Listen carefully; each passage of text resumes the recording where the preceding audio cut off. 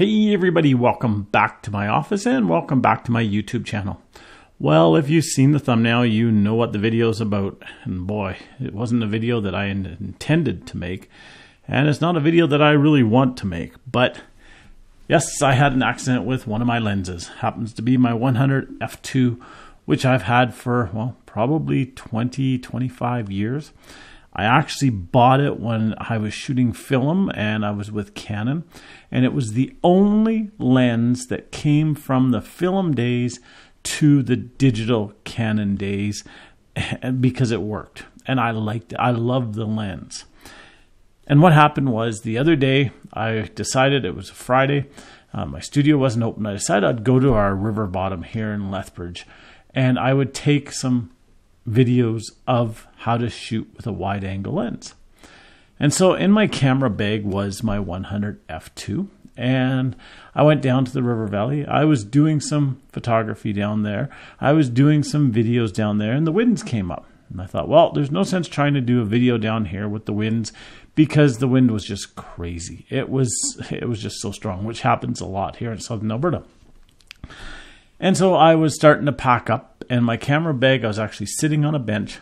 My camera bag was beside me, and I took the microphone stuff that I had. I went to put in the camera bag. I lifted the camera bag up just a little bit, and this lens did a nosedive out of the camera bag. And when it hit, I thought it hit on the lens hood. I was sure because it went flying. It broke instantly and it went flying. And the lens hit the ground, it started to roll. I just sort of cringed and I picked it up, put it on the camera, tried it, and it will not focus properly on the camera. Now, it wouldn't even focus manually when I first picked it up, but I wiggled it back and forth and I can now manually focus it. But for some reason, when I put it on the camera, the motor inside of it must either be slipping or not strong enough and it will not focus it. So I can still use it in manual focus, but I can't use it in autofocus. Now, I've been doing photography for over 38 years. And in that time, I've only had two accidents, and it was actually the two accidents were in the exact same place, the exact same day, and it had nothing to do with me. I was on some ice in an arena photographing some kids for their hockey pictures. I set up my studio lights. I had my camera on a tripod, which I seldom do. And I had everything set up, and I told all the kids and all the parents when you come out, skate around this way and stop on this spot, and I will take your picture. Then immediately skate off the ice, and the next person will come on. Well, of course, you have to have a couple smart kids in the group. So on comes this one kid and he has to be Mr. Hockey and he starts skating around the ice like he's some sort of a I don't know, NHL pro. And he comes skating past me, which he shouldn't have even been close to. And he tripped over a cord for one of my lights. And one of my big studio lights, which was up about 12 feet high, went crashing to the ground. Fortunately, because the umbrella was secured to it, the umbrella acted as a parachute and when it hit the ground, the only thing it dented was a little metal ring on the outside of the flash, and it's worked fine ever since. That exact same day, about five or ten kids later, this kid comes on the ice, comes skating around, gets really close to me like he's some sort of a macho kid, trips over my tripod, catches his skate on the tripod, and over it goes with the camera, with the uh, the lens, the trigger for the flash, everything all on it. I just grabbed it as it hit the ice and I stopped it just enough and it actually hit on the lens hood and it saved it, which was I was very fortunate. Nothing was wrong with it. That was it. So that, that's the only two accidents I've had in 38 plus years. So I have to say that I'm pretty fortunate. But for it to be this lens, it's a little bit depressing because this lens has a lot of history. I bought this lens to do some sports photography inside. It's an f2 lens, so it's really fast. It's 100 millimeter. It actually at the time cost me around $800. I think it was $850 that it cost me. So it wasn't a cheap lens. I know it's not worth much today, but it's pretty frustrating and it had me pretty upset that I was stupid enough to do that. Now that brings up why I did this video and what about this video? Why am I talking about this other than to get it off my chest and to try to make myself a little bit calmer? Well, it comes up to what happens when or if you do break something. What should you do?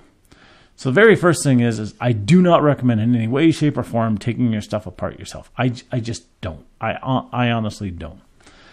I don't recommend taking it to a third party person. Now, I know there are people out there who will fix lenses, and lenses themselves are not near as complicated as digital cameras are. So you you may be able to find somebody that's able to take the lens apart and fix it. But I do strongly recommend sending the stuff into your manufacturer and getting it repaired. If, and here's the big if, if the lens or if the camera is new enough to justify it. And I get this so often from people. People phoning me up, they have a two megapixel digital camera that they've had for like 20 years. And they say, It broke. What should I do with it? And I want to say, quite point blank, throw it in the garbage and buy a new one.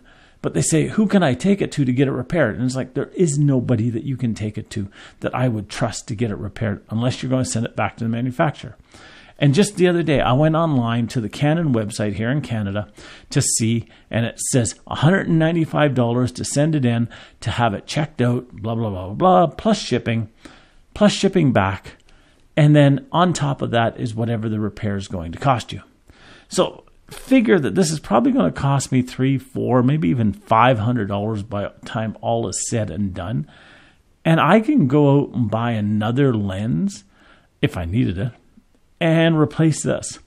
Especially with digital cameras. If your digital camera is several years old and there's more generations out there, don't waste your money on getting the digital camera repaired. Because guess what?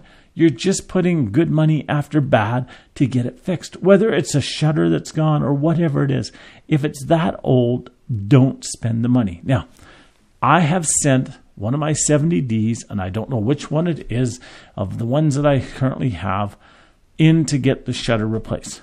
It cost me, I think it was 285 bucks to get the shutter replaced, and the camera's fine. Why did I do it? Because I use my 70Ds a lot and they work perfectly. And the next best camera for that was going to cost me at least $1,400.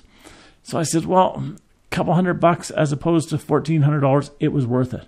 But if your camera's only worth a couple hundred bucks, and if you can get a better camera for a few hundred bucks more than that, it's not worth it for you to go and get it repaired.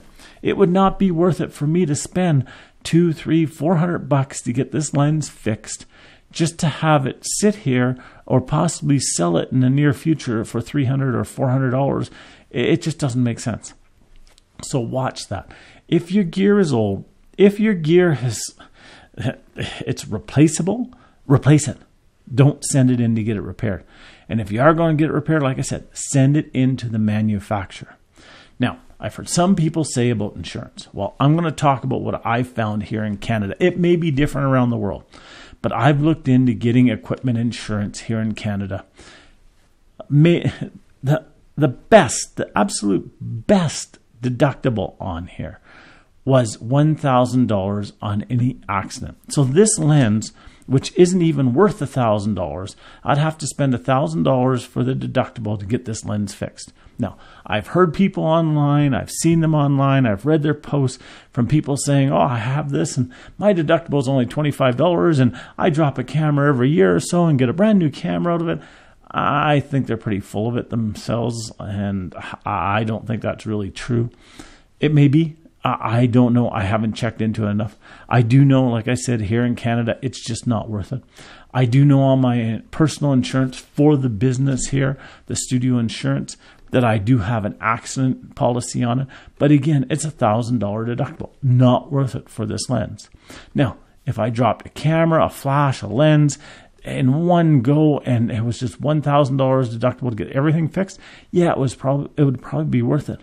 But just for the lens, not worth it. So what can you do to prevent accidents? Well, it comes down to probably the most basic thing in the world. Take your time just slow down. And I admit, a little bit of it was my fault because I was yeah okay it's hot it's getting windy it's uh, and I just sort of yeah and I I know exactly when it happened and how it happened I can play the moment over a thousand times and it was me just going a little bit too fast I didn't zip up one of the compartments that should have been zipped up and it just happens so slow down when you're dealing with it slow down when you're handling your equipment the other thing that I could have done definitely different and this only happened this one time, and I actually was sitting on a bench. Usually I put my camera bag on the ground. I've done it for years. It's been something that in the back of my mind, I, I just did it constantly. I always put my camera bag on the ground and took my lenses out of the camera bag when it was on the ground because if anything should fall out, it doesn't have to very far to fall. And I've done it constantly, over and over and over again. Except, guess what? That one time, Friday, thought, hey, I'm sitting on the bench. May as well pack up while I'm sitting on the bench. Why put it on the ground? And yeah, it came to bite me. So until next time, I'm going to continue using the lens on manual focus. I may actually use it as a studio lens and set it up. It, it's still perfectly sharp, nothing cracked in it. The every all the glass is fine. So I may still use it as a studio lens and just shoot it on manual focus or occasionally just take it out and use it on manual focus side. But yeah, it's pretty frustrating. So until next time, get out there and take some pictures. Be careful when you're handling your lens, and I'll talk to you again. Have a great day. Bye bye now.